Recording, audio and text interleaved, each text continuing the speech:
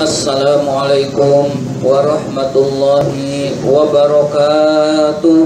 Waalaikumsalam warahmatullahi wabarakatuh. Alhamdulillahirabbil alamin. Wassalatu wassalamu ala asyrafil anbiya'i wal mursalin.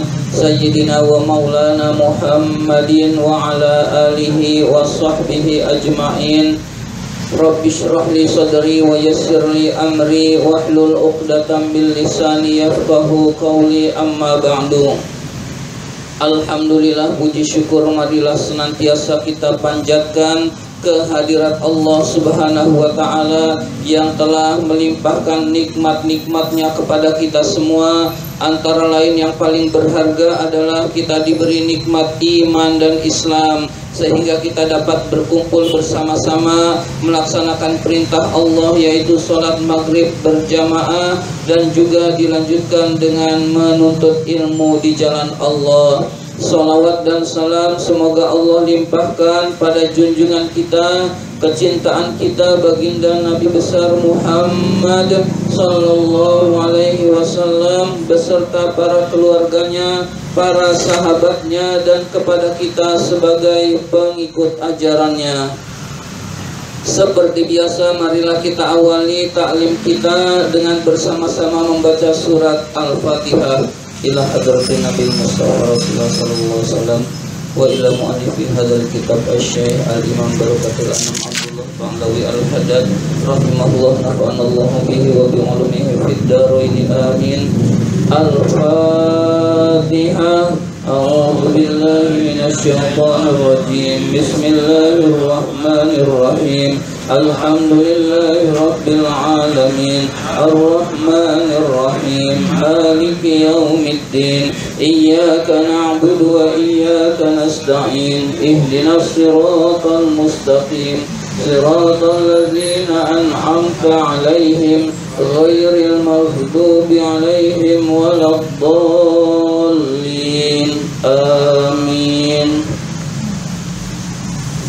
Kita lanjutkan taklim kita halaman 33 Baris ketiga dari bawah.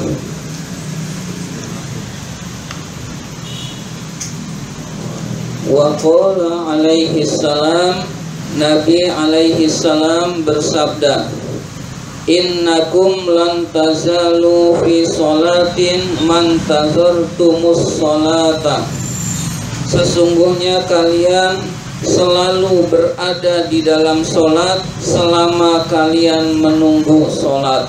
Jadi orang yang menunggu sholat pahalanya seperti orang yang melaksanakan sholat.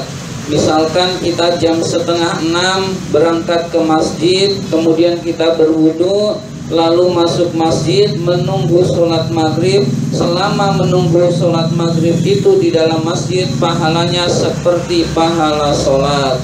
Misalkan kita berangkat bekerja di pertengahan jalan jam setengah sebelas kita pakai motor mampir di masjid menunggu sholat zuhur kemudian kita berwudu lalu di masjid. Nah selama menunggu sholat zuhur itu kita dianggap pahalanya seperti pahala sholat. Berarti tidak rugi orang yang menunggu sholat.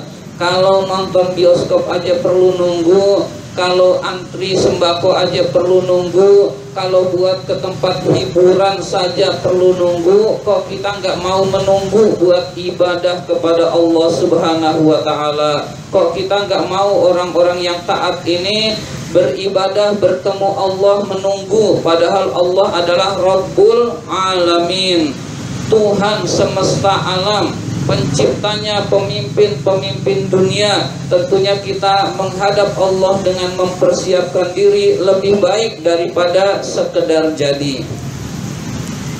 Wa qala alaihi salam Nabi alaihi salam bersabda Basyiril masyaina. Berilah kabar gembira kepada orang-orang yang berjalan Ilal mas ilal masajidi menuju masjid fi zulmi di dalam kegelapan bin nurit tami yaumal kiamati dengan cahaya yang sempurna pada hari kiamat.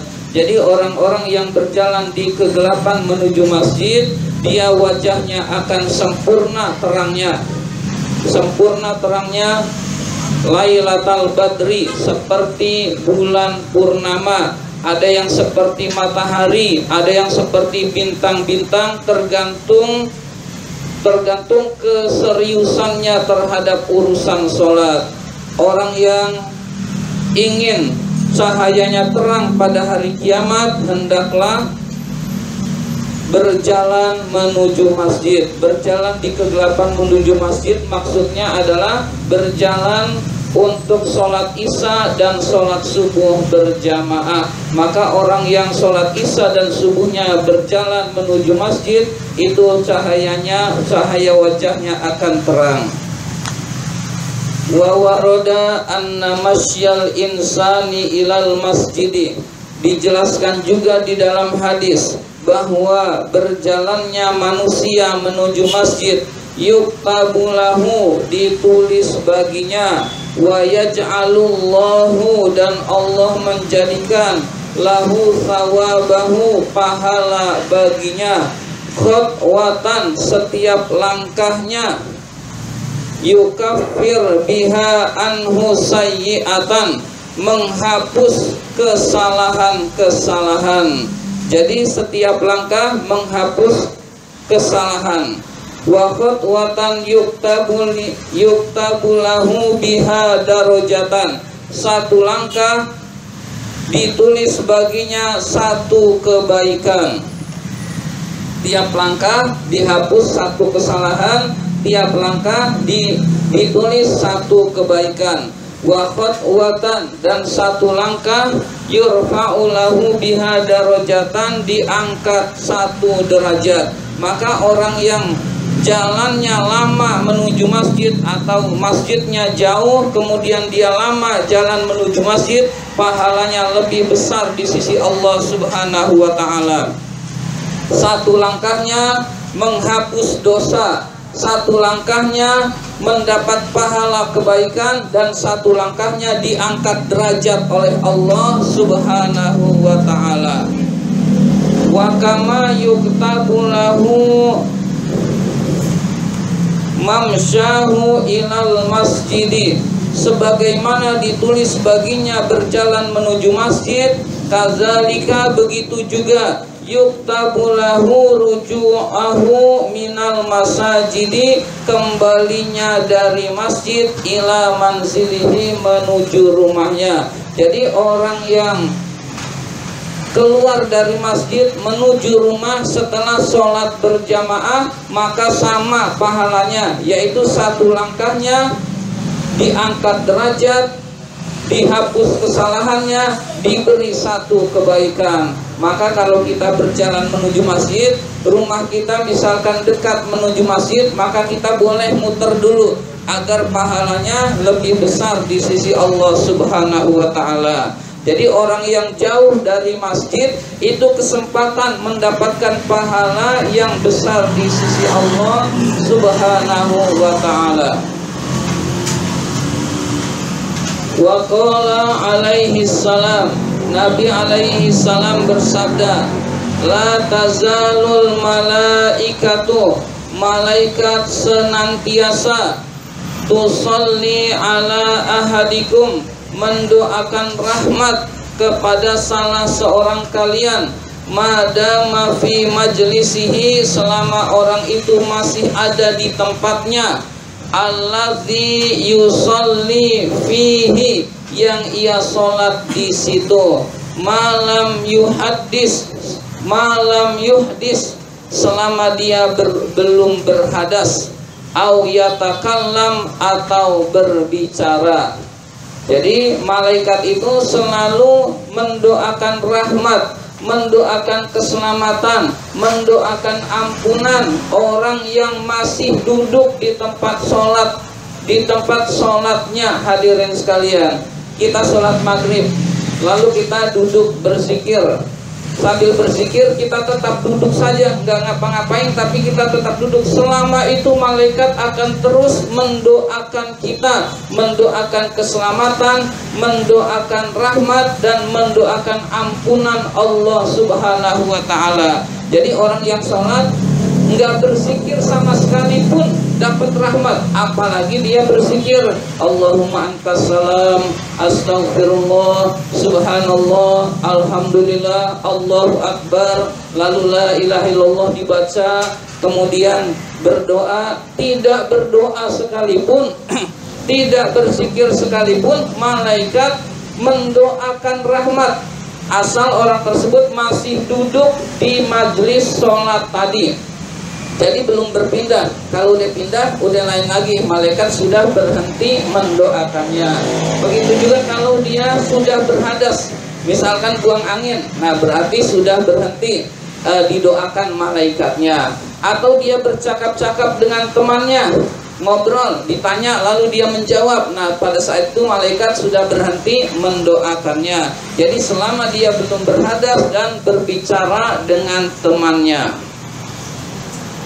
Takulu malaikat berkata berdoa Allahumma gfir lahu ya Allah ampunilah dia Allahumma rahamhu ya Allah sayangilah dia rahmatilah dia berilah kasih sayang kepada dia. Nah, malaikat itu selalu berkata, Allahumma gfirlahu, Allahumma arhamhu. Bayangkan kalau kita lama duduk saja, nggak ngapa-ngapain, duduk saja.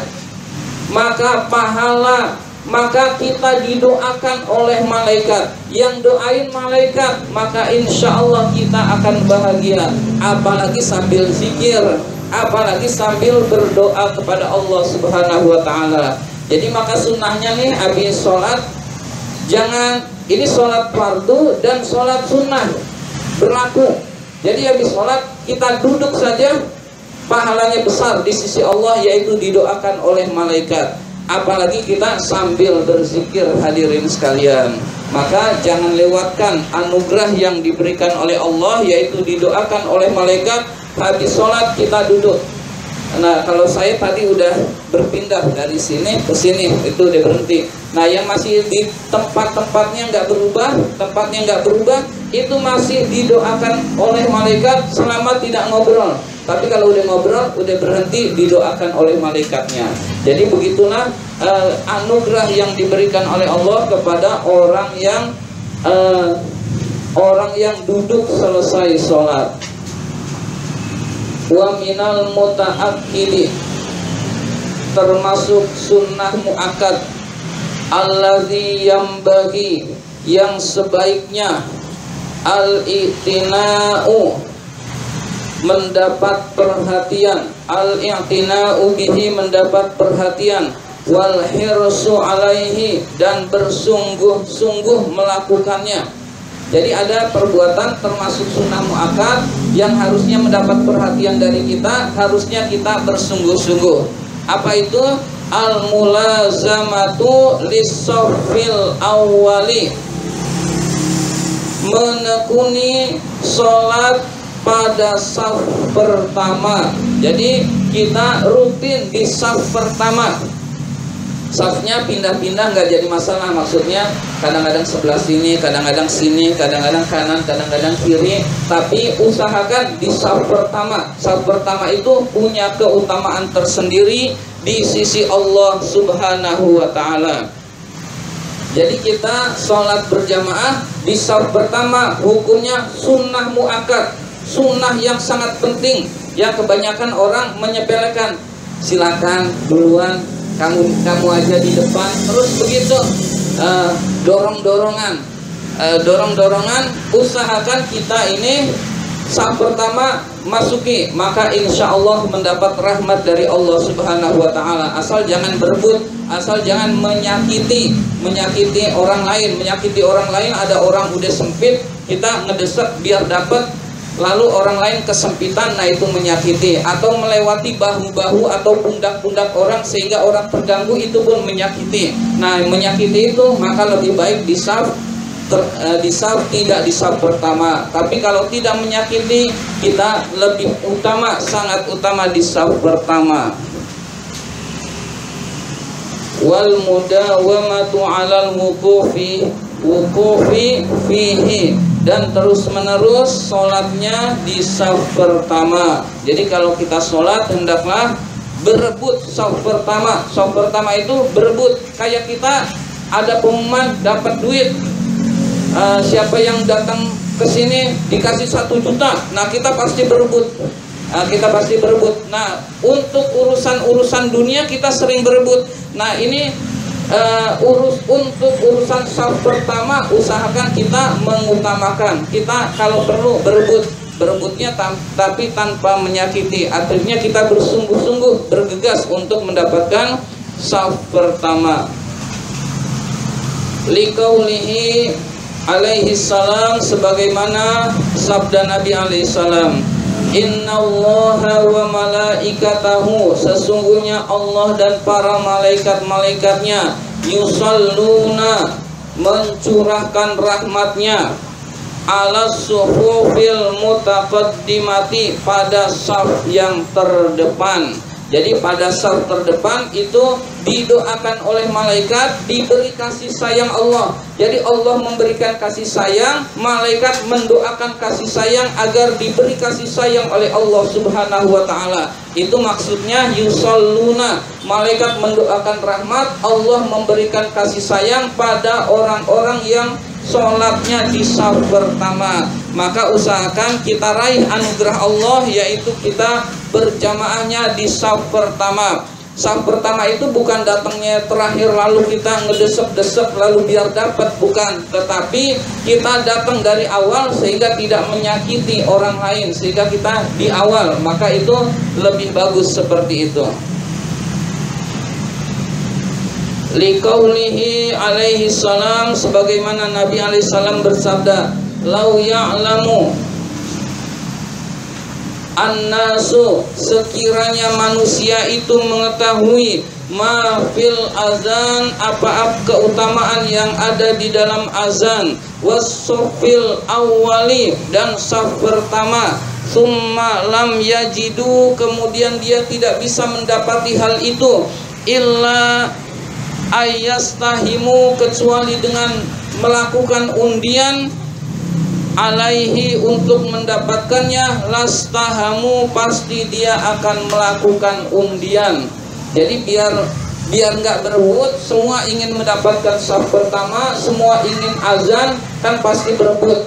Nah karena berebut pakailah undian pasti undian itu dilaksanakan. Jika sekiranya manusia itu mengetahui keutamaan kebesaran pahala anugerah Allah yang ada di dalam azan dan saf pertama. Jadi azan itu punya keutamaan. Orang yang azan muazin punya keutamaan. Orang yang di saf pertama punya keutamaan. Maka kita hendaklah bergegas untuk bisa azan dan juga minimal kita berada di saf pertama. Ini saja yang dapat saya sampaikan. Terima kasih atas perhatian. Mohon maaf apabila ada kata-kata yang kurang berkenan. Wabillahi taufiq wal hidayah. Wassalamualaikum warahmatullahi wabarakatuh.